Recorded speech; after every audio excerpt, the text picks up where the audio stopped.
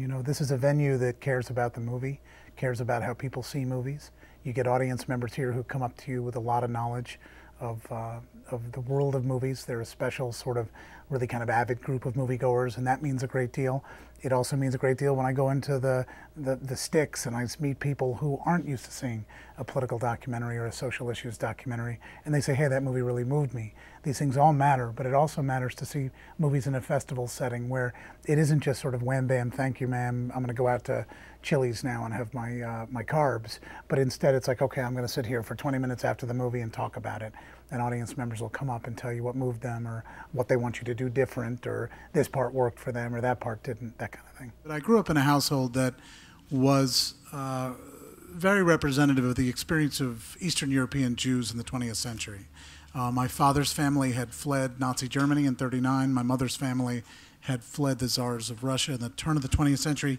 So the children in my family, we were all taught that our lives kind of would only make sense if we were devoted in our lives to social justice, to giving voice to the voiceless, because we had once been there and we were supposed to tell the stories of those who'd been on the front lines of the terrible things that man can do to man. And film seemed a medium that called out to me. I made a short film at 21 years of age, and I was at Sundance suddenly alongside guys like Tarantino and people who were on their way. And I thought, wow, this is easy. It turned out it wasn't. I then got embarrassed and humiliated for a decade, which is a whole other story. But I had gotten the bug, and that bug led me to ultimately see that my small p politics could be combined with that aspect of myself that was a little bit artistic. And I often joke that these movies kept me from a life of crime because I'm outraged. I'm heartbroken by most of what I see.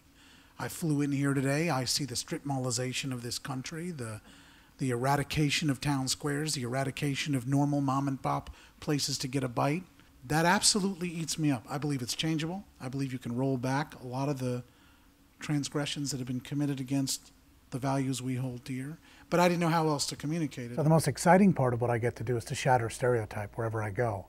Because you get to go meet people, you have to take on their points of view, you get your points of view changed by them.